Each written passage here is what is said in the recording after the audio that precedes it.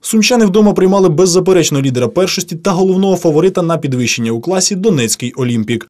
І дати бій лідеру містянам вдалося, однак перемога вже 12-та у нинішній першості поїхала до гірницької столиці України.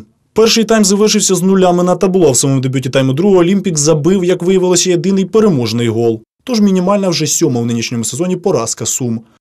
Охтирський нафтовик також вдома екзаменував тернопільську ниву. Як виявилося, після фінального свистка іспит нафтовики провалили.